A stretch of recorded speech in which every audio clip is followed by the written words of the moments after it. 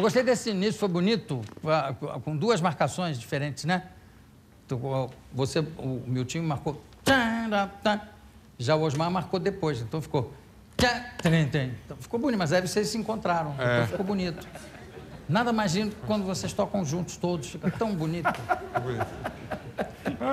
Que maldade. Ah, e o tomate fica rindo lá quando acontece isso. O famoso flan. Ô, Bira, eu pedi para você falar, fazer algum comentário? Eu não falei nada. Não recordo.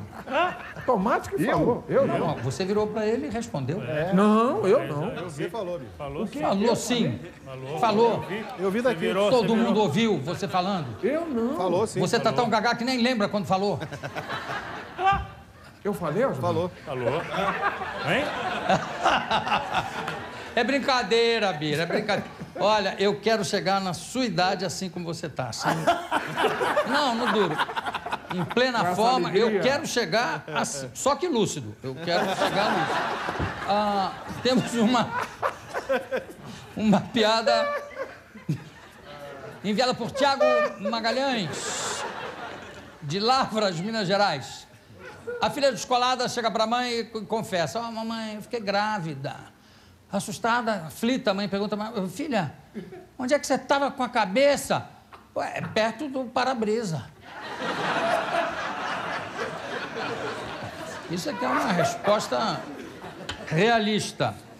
Bom, eu tava, nós estávamos conversando aqui com, com, com o Zé sobre pirataria e, como eu disse antes, por coincidência, está aqui também o presidente do Fórum Nacional contra a pirataria. Eu até pedi para o Zé Padilha ficar um pouco na, na plateia para saber se tem alguma pergunta específica para o Alexandre Cruz, por favor.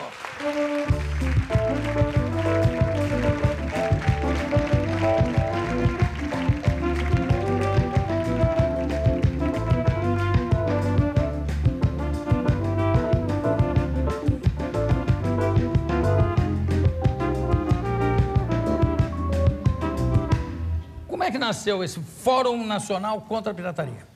foi curioso. A gente uh, vinha brigando muito por ter alguma organização no setor privado contra a pirataria.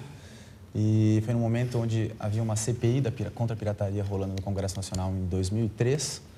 E, num dado momento, havia uma, uma audiência pública. E me lembro de um comentário ter nascido de, desse grupo, dizendo: olha, o crime por detrás da pirataria é organizado, muito organizado. E a sociedade civil não é.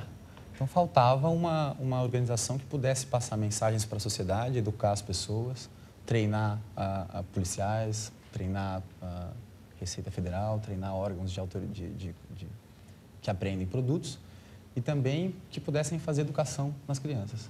Isso nasce desde cedo, né? Agora, você, quando se refere à pirataria, é uma coisa... Eu tenho visto alguns anúncios contra a pirataria que vêm dentro dos próprios DVDs, Padilha deve ter visto também, mas eu acho que são meio, meio ineficazes, meio, meio bobos, porque não, não pegam, não, não vão direto no, no problema. É sempre uma coisa que não deve ser feito. É um pouco como o pai que fala para a criança, não deve comer chocolate, sem explicar o porquê, não tem, sabe, não tem, não tem uma motivação muito correta. Agora, o, o, o seu negócio não é só em relação à pirataria de DVD ou de CD, que, aliás, deve ser uma das piratarias mais usadas? Olha, por incrível que pareça, é a que mais aparece. Sofre-se muito, mas sofrem com produtos de limpeza, por exemplo, 50, mais de 50% dos produtos de limpeza é, ligados à água sanitária, aquele específico ramo água sanitária, mais de 50% consumido no Brasil é pirata. É mesmo? Mais de 50%. E tem sanitária ou só água lá dentro? Tem, não, não tem aquele bactericida, né? Então, hum. primeiro não limpa o que deveria limpar. Então, causa vários, vários problemas decorrentes a isso. E também não vem com aquela, com aquela proteção que o correto, que o original, que o verdadeiro, que o formal vem, que é uma criança ingerir aquele negócio. Você tem uma bula lá, no, no, na, como se diz, na etiqueta do produto, tem o que fazer, tomar um leite, magnésio, alguma coisa você não morre, não fica com. E no pirata. Problema. Mas o pirata também não deve fazer mal, porque deve ser água pura, deve ser uma lavagem. Não, a alguma... criança toma até uma diarreia. Tem alguma coisa ali, tem é? alguma coisa ali. O, Zé, me fala, quanto está custando um ingresso de cinema hoje? 15 reais, mais ou menos. 15 reais. E o, o, um DVD pirata? No caso do meu filme foi uma maluquice, porque o DVD primeiro começou vendendo a 10, depois caiu para 5, mas eu cheguei a ver o seguinte, em Niterói, eu vi, meu- o cara que está fazendo o documentário sobre o making-off do filme filmou uma televisãozinha, várias cadeiras, na rua. Você pagava dois reais, sentava e via o filme. É maravilhoso. O cinema pirata. Não é só o DVD, é o cinema inteiro pirata. Quer dizer, o Isso seu é filme bom. lançou o cinema pirata. O cinema pirata. é. Quando é que o filme vai ser lançado, falando nisso? Vai ser lançado dia 12 de outubro, no Brasil inteiro. Lançamento grande. E agora eu tenho uma pergunta para você, porque eu, eu, eu- saiu no jornal que o- eu sou Flamengo, eu falei antes, É. que o presidente do Fluminense passou o filme para motivar os jogadores no ônibus. Eu não sei como é que isso vai motivar os jogadores, mas ele passou. É, O que, que eu co- consigo? Dá para mandar os caras para a segunda divisão de novo? Olha, eu, que você é espero que Fluminense. não. Você Eu tem que ter uma que certa você- condescendência, conflu... Mas é verdade. Lembra do irmão do, do, do seu padrinho, do Mário Filho? Não, tá certo, eu vou aliviar. Mas que é um, um ab- se é, real isso, né? é, É um verdade. absurdo que não tem tamanho. Saiu. Eu perguntei o preço para você ver. De repente, agora, por favor, eu quero deixar bem claro que essa pirataria desse filme é feita com uma mídia de péssima qualidade. Então, a maioria vai engripar mesmo. Vai engripar, vai parar, vai engripar. Não vejo, não vejo qual é, realmente qual é a vantagem. E além, eu perguntei também, para me referir a um outro tipo de pirataria, que é o preço do ingresso está a 15 uma, pega uma produção americana, sei lá, daquelas tipo Missão Impossível 3. Quanto custa a produção? A produção deve custar uns 100 milhões de dólares e o lançamento mais uns 200, vai. É, então, quer dizer, envolve 300 milhões de dólares. E o ingresso sai a 15. Lá sai a 8 dólares. É, um pouco mais, sete. talvez uns 10, 12 É, dólares. É, é, bom. Aí você pega, por exemplo, um software do, do, de, de, de computador, do Bill Gates. Não é absur- absurdamente caro em relação, por exemplo, a uma produção de cinema que custa. Eu posso perguntar quanto custou, por exemplo, vamos botar em termos nacionais, posso perguntar quanto Pode, custou a claro. tua produção? O Tropa de Elite custou mais ou menos 10 milhões e 500 mil reais, dos quais 60% é incentivo fiscal e o resto é investimento direto. Bom, por aí você vê. E o ingresso, 15. No caso do, do- vamos botar em termos internacionais, no caso da, da- do Bill Gates, ou enfim, de qualquer software, custa um absurdo. E aí o sujeito compra o pirata porque é o que ele tem acesso, é, é a, esse, a essa possibilidade que ele pode, com, com, dinheiro, com o dinheirinho dele, comprar. Parece que o próprio Bill Gates não era incentivava isso nas faculdades, nas universidades, porque não era uma coisa da empresa. Porque a empresa não vai te botar um, um software pirata dentro da própria empresa, né? Sim, porque você corre risco de segurança, na verdade. Eu não sou especialista em software, mas a lógica da pirataria ligada ao preço, sem dúvida nenhuma, é a diferença entre o original e o pirata. E dessa gordura entre a diferença entre o original e o pirata, muito é imposto. A gente pode dar um exemplo aqui de, do- da indústria de computadores. A indústria de computadores no Brasil tinha 70% de mercado cinza. Eles chamam de cinza o mercado pirata porque são aqueles computadores montados que vêm peças, entram regularmente para o Brasil, né? E montam cinza, então é chamado de cinza. O que aconteceu? O governo brasileiro entendeu que o computador era, um- era algo ah, muito ah, ah, promissor, demorou um pouquinho, mas entendeu que era, um- que era algo que trazia inclusão digital e gerava inclusão social, que colocava o Brasil ah, num- num- numa onda nova de produtividade, etc. Então resolveu fazer uma política para reduzir a pirataria.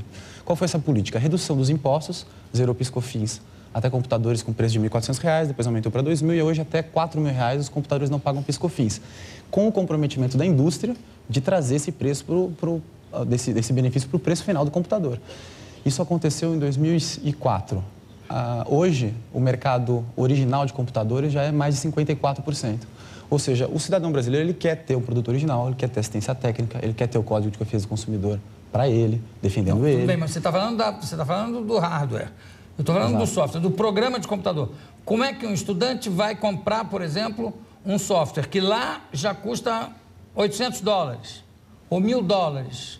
Como é que ele vai ter acesso a esse software? Olha, em relação É a... complicado, É complicado. Na verdade, assim, eu não, tenho como discutir a curva de custo do Bill Gates, se ele tem realmente muitos e muitos. ah, Parece que ele não tá mal de vida. mais me parece que ele está ganhando bom dinheiro, né? Parece que ele e o cara Tá está legal. ganhando bastante É. dinheiro. Mas, de qualquer forma, me parece que tem a ver também com um pouco de monopólio e tudo mais, acaba permitindo esse, esse, esse Não, preço. ele, é eu acho ele um gênio, porque, inclusive, o impressionante é que ele não inventou nada. Primeiro, o DOS, ele comprou de um cara e vendeu antes de ter comprado para a ideia para a IBM. E o negócio do, do todo o Windows, né, todo o negócio da interface gráfica, uhum. ele pegou do Steve Jobs, né, que já tinha pego, foi uma coisa rejeitada pelo pessoal da, da Xerox. É, já dizia o Lavoisier então, que nada se cria, nada se perde, tudo se copia. Ele falava que é, se transforma, mas aqui é mais tudo se copia. É, não, e claro que é um gênio, cara. Mas peraí, é muito é, caro. Hoje em dia, inclusive, é muito caro, né? Porque Exato. quando começou, ainda vai lá. Agora, por exemplo, se você tira uma cópia de um filme para você guardar, tá?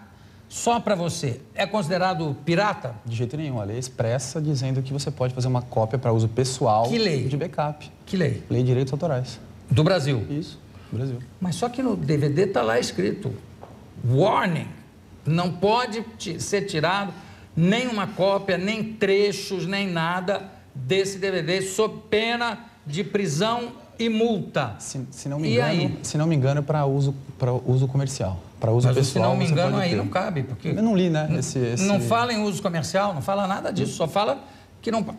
Estou errado, Padinho? Eu entendo da seguinte maneira: se você comprou o DVD, é seu. Você foi numa loja e comprou, você pode fazer uma cópia para você ter de backup. Isso. Agora, se você alugou o DVD, não é seu, você alugou claro. no videoclube, você não pode claro. copiar. Claro. Não, é? não é isso? Isso, exatamente. Mas o que está escrito no DVD quando você liga? Que não pode copiar. Que não pode copiar. Que não pode fazer cópia. Mesmo comprando, não pode fazer cópia. Agora, se no Brasil há uma jogada na lei, quer dizer, se há uma permissão, eu também não, não, não entendo como. Quer dizer, fica uma coisa meio incompatível com o que o dono do, do, do produto quer. O dono do, do produto é a única maneira que ele tem de tentar proteger a criação artística, a criação intelectual. A única maneira é essa, mesmo assim, é burlado. Então, Cheitão, não, eu tirei uma cópia só para ficar aqui em casa e mostrou para 10 pessoas. Não interessa, já deixou de ser, de ter a finalidade daquele imenso warning que tem no começo. Em português também tem várias línguas. Até em chinês. É, não, vem passando alemão, não sei o que lá, você lê para. Não tem é, erro. Não, né? não deixou nem correr, né? Não deixou nem correr é, a fita. Não tem fast forward. Eu acho que a gente tem no ponto uma coisa dessa. Tem? Olha só. Esse DVD é protegido pela US e copyright internacional, leis internacionais e copyrights. E é, usar, e é vendido apenas para casa. Isso. Qualquer outros direitos são reservados pelo pelo dono do copyright. Qualquer cópia ou performance pública desse DVD está estritamente proibida e pode uh, sujeitar o, o, o, ofensor, enfim, o, o infrator, a processo civil e penalidades criminais. Está aí. Então, é, é, Não, mas isso só vale lá. Não, porque na hora que tem, pega um DVD no Brasil. Tem isso em português, espanhol, coreano. Uh, porque é engraçado quando, quando põe, quando tem legenda em português, tem também para Coreia, Suriname, tem de tudo. E eles te obrigam a, a, Você não pode dizer que. Ah, eu não li. Não. Eu creio que é uma fita de locação, por isso que tem essa. essa não, não, essa, não, não. Não, não. De qualquer forma, é importante. Não é, não, porque eu, eu compro muita fita. Então está sempre lá escrito. E me irrita porque eu não consigo correr, porque trava. É importante que o fórum tem 35 setores diferentes. A gente fala muito de DVD, que sofre bastante. A gente não fala, por exemplo, de remédios. Hum. Ninguém compra remédio com a certeza de que está comprando pirata. Se o sujeito vai no camelô e compra um produto pirata sabendo que é pirata. Mas tem gente que compra remédio no camelô? Não. Compra. Olha o remédio, olha aqui, olha a tetraciclina. Por isso que é mais grave. As pessoas compram remédio na farmácia. E um dado é, assustador da Interpol, 30% dos remédios transacionados em 2006 no mundo eram falsificados. Então, a gente a gente está achando que é legal estimular a pirataria, afinal de contas, é, é mais não, barato. Não, mas quem é que acha mais. legal estimular? Todos que compram, né? A gente, a gente ah, acredita que, como, acho que a lógica do filme do Padilha até diz que, do ponto de vista do, do policial, né? Ah, aqueles consumidores de, de, de drogas são estimulantes. Eu acredito muito na informação. Eu acho que muito da população não sabe o que está por trás com a pirataria, pirataria. Exato, acontece a mesma Olha, coisa. Tem uma história interessante, Jô, que é a seguinte. Uh, muito tempo atrás, a indústria nacional de brinquedos estava tava morrendo, né? Estava uh, sofrendo muito com, a, principalmente a invasão de produtos chineses aqui desde 1999. E, e complicado porque esses brinquedos de 99 são feitos de resto de material hospitalar na China. Daí o grande recall que teve recentemente, que você tem, é rico em chumbo, o Imetro já fez até no Fantástico testes relacionados a isso, mas a, a população é muito desinformada. Né? Então, e nessa, nessa, nessa briga contra a pirataria muitos anos atrás, uh, foi, feita, foi feito um trabalho para treinar os agentes da Receita no, no, na fronteira de Foz do Iguaçu, uh, ali na Ponte da Amizade, e eles conseguiram uh, aprender cerca de 21 containers, o tamanho de um, tamanho de um caminhão, né, aqueles containers. Pois é, e, e dentro desses containers, eles eh, identificaram ah, cerca de três ou quatro containers com munições e armas. E a conclusão que a gente tira desde, desde essa época, onde apreensões mais apreensões tem produtos piratas de todos os tipos, e armas, e drogas, é que é uma coisa lógica. Quando a gente compra um produto pirata no camelô, aqueles centros de, de, pirataria, como a Feira do Paraguai em Brasília, como o Stand Center aqui em São Paulo, como a Galeria Pagé, como a Uruguaiana no Rio de Janeiro, para que a gente alimente produtos piratas semanalmente entrando ali, ele precisa passar contêineres e mais contêineres precisam passar pelas fronteiras, pelas rodovias federais, pelas estaduais, chegar aqui dentro, corromper todo, todo o aparato que deveria repreender, repreender esse, esse, essa prática e a gente consegue alimentar uma, uma, uma, um comércio pirata enorme. Então a gente não pode ser ingênuo de que por trás do, nosso financiamento da pirataria não tem um crime organizado que usa toda a sua estrutura para fazer todos os tipos de crime, inclusive ó, armas e drogas. Isso é, foi comprovado. Nem, nem chegaria aqui, né? Exatamente. Até inocentemente o próprio presidente Lula, no seu avião, assistiu uma cópia pirata do, dos Dois filhos de os Francisco. Dois filhos de é. Francisco. Eu acho que com, sem, com certeza sem, inocentemente. Sem saber, claro. Ele só, mas ele só perdeu a oportunidade, acredito eu, de voltar para a população, depois que descobriu isso, e dizer, olha, isso é errado. É. Existe uma indústria que gera empregos uh, por trás de, disso tudo. E importante dizer também uh, que aqui no Brasil a gente uh, critica muito, e, e, eu já vi alguns colegas meus dizerem que compram produtos piratas como uma forma de se manifestar contra o preço de um original, alguma coisa. E o pior é que esse manifesto gera o efeito contrário. Porque quando você compra um produto pirata, primeiro você preenche os impostos. Porque quem paga, paga por quem não paga. Ou seja, quem está recolhendo é. impostos está pagando a conta do Estado brasileiro sozinho. E quem eh, não paga, que são os piratas, estão pagando, estão deixando a margem, gerando custo, deixando tudo isso à margem. Uh, o segundo ponto importante é que aquela indústria que vende vai ter a sua escala menor. A indústria de, de, DVDs e de CDs é um exemplo claro disso. Quer dizer, quanto menos você vende, mais pressão você tem no preço. Agora, você falou uma coisa engraçada, que é o seguinte, você, você mostrou o custo de uma operação dessas para entrar essa mercadoria ilegal no país. Né? Passar por fronteiras, babá, babá. Quer dizer, é o crime organizado que envolve uma série de gastos também. E mesmo assim você quer comprar um, um, um, um, software, por exemplo, quanto custa? É 10 reais, chinesa, 10 real. Um software que originalmente custa mil dólares, 10 real parece que é feito no quintal. E não é, tem, envolve uma, uma, um gasto também, quer dizer, envolve uma organização enorme. Não seria isso também um motivo para os, os fabricantes reais, para eles baixarem o preço um, um pouco dos seus produtos? Olha, sem, sem dúvida. Eu não estou dizendo que se deva comprar o, claro, claro, o, claro. o ilegal, não, porque inclusive só dá problema. Mas não é um motivo para eles, porque não é possível. Na verdade, oportunidades como seja... essa são muito boas, porque a gente pode discutir o tema. É, eu acho que a grande, a grande causa da pirataria é o desconhecimento, da demanda da pirataria. É, é legal esses momentos para poder esclarecer para a população. Na verdade, apesar de parecer um grande custo, ele é, ele é infinitamente inferior ao custo original. Por quê? Se você a gente der uma olhada no Padilha, por exemplo... Não, claro que é. A produção...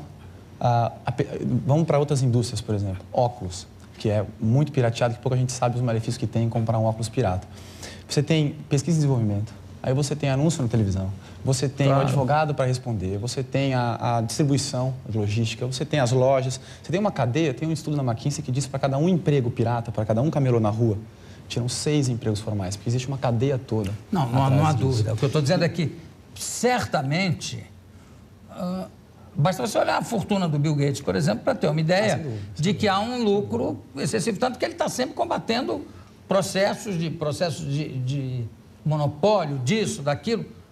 é evidente, quer dizer, um, o que eu quero dizer é que uma coisa. Você, falou, você se referiu ao filme do, do Zé e é perfeito o que você disse. Quando no filme o sujeito fala que quem está consumindo droga está pagando para o, o narcotráfico se armar mais.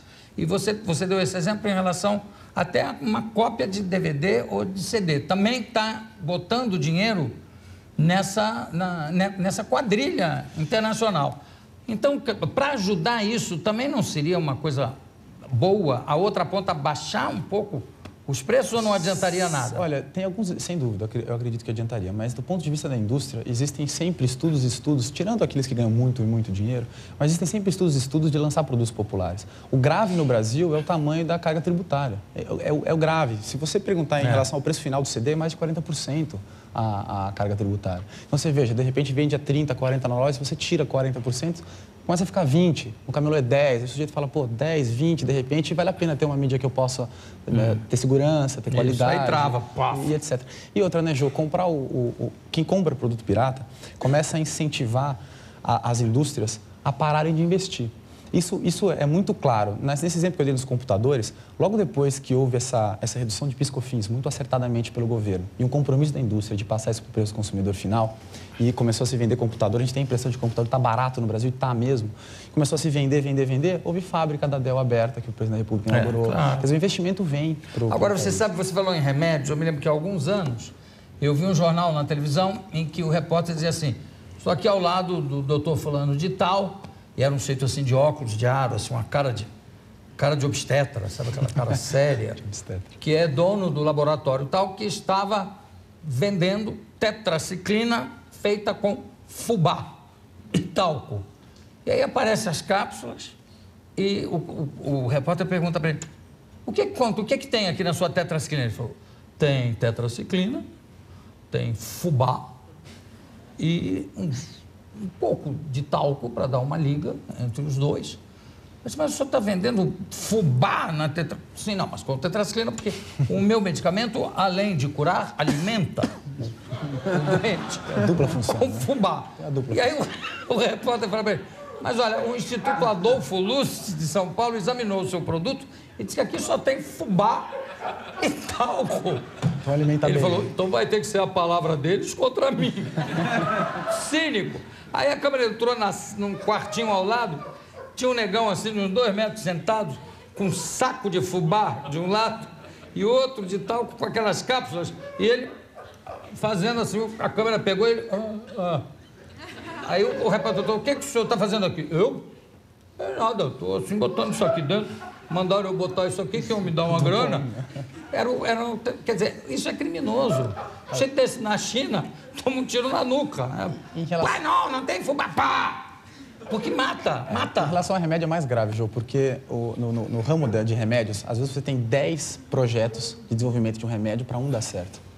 E quando aquele um dá certo, ele precisa pelo menos que, que o retorno daquele investimento sirva para continuar estimulando novas pesquisas. Até é importante citar que a própria Rede Globo, conosco, com o Fórum Nacional contra a Pirataria, está no ar com uma campanha é, muito importante que começa citando remédios, depois produtos de limpeza, depois óculos e etc., em cadeia nacional. É uma campanha é, institucional, até quero agradecer o, o, Erlanger, que é um diretor que apostou bastante, muito Erlanger, sério, é, com claro. muita visão. É porque a própria televisão sofre, porque o pirata não anuncia na televisão, né? A própria, a própria a, a TV Globo teve uma visão muito bacana, eh, inédita, diga-se de passagem, de colocar no ar cinco filmes aí que tratam de todos os temas.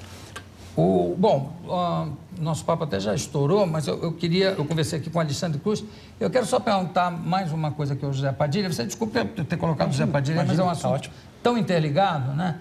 Porque eu nunca vi um filme dar tanto material de notícia, etc e tal, por causa dessa pirataria que houve. Você tem ideia de quantas cópias piratas foram tiradas por?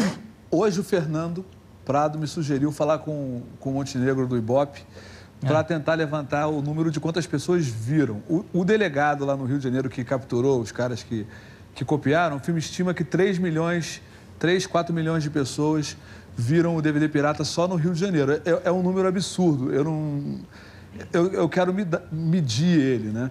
Para saber, mas eu não sei quantas cópias. Eu sei que tem, ó, tem locadora que alu- aluga DVD pirata.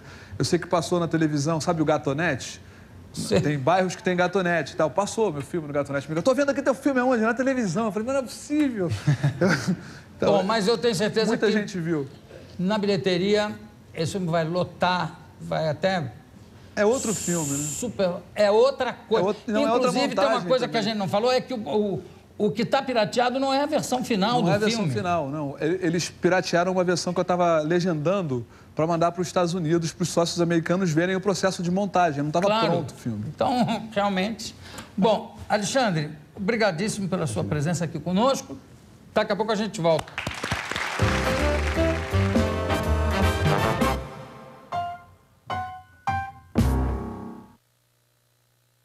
Duas Caras, segundo capítulo.